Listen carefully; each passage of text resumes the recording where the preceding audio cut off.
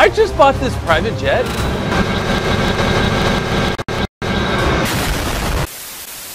Only food and water we have to survive is your mom. Let me write a message in urine. All right, we're write us a message.